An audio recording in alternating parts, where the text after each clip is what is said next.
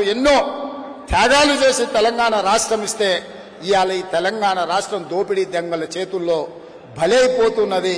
దీన్ని విముక్తి కలిగించాల్సిన బాధ్యత మన మీద ఉన్నది మిత్రులారా. దయచేసి కార్యక్రమాలన్నీ చేయాలంటే శ్రీమతి సోనియా గాంధీ గారి ఆలోచనలు ఆకాంక్షలను ముందుకు తీసుకెళ్ళాలంటే కాంగ్రెస్ పార్టీ కార్యకర్తలు సైనికుల్లాగా పనిచేయాలి. మరి అందులో భాగంగానే డిజిటల్ సభ్యత్వం నమోదు చేయాలి. ప్రతి బూతులో వంద మందిని మీరు చేర్పించిన రోజు ముప్పై నాలుగు వేల ఏడు వందల ఆరు బూతుల్లో ముప్పై నాలుగు లక్షల మంది కాంగ్రెస్ పార్టీ సభ్యులుగా చేరిన మరుక్షణం ఈ తెలంగాణ రాష్ట్రం మీద కాంగ్రెస్ పార్టీ మూవన్నెల జెండా రెప్పరెప్పలాడుతుంది. సోనియమ్మ రాజ్యం వస్తుంది. ఆ సోనియమ్మ రాజ్యంలో పునాదులు మీరే నిర్మాణం చేసేది మీరే. మీకందరికి అండగుండే బాధ్యత మాది.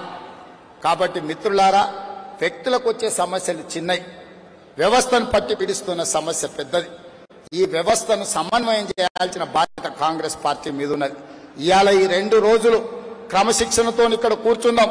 పెద్దలు చెప్పే ఉపన్యాసాలు విందాం. వారిచ్చే సందేశాన్ని తీసుకుందాం. ఈ సందేశానికి తీసుకెళ్ళి గ్రామ గ్రామాన మండలాలలో తండాలలో గూడాలలో మారుమూల పల్లెలకు వెళ్దాం. ప్రజలకు వివరిద్దాం. మనం పెద్దలు చెప్పిన సందేశాన్ని తీసుకొని మన మన ప్రాంతాలకు వెళ్ళి ప్రజల్ని సమన్వయం చేద్దాం ప్రజల్ని కార్యోన్ముఖులను చేద్దాం ఈ ప్రజలను నిర్మాణం చేద్దాం పోరాట నిర్మాణం చేద్దాం.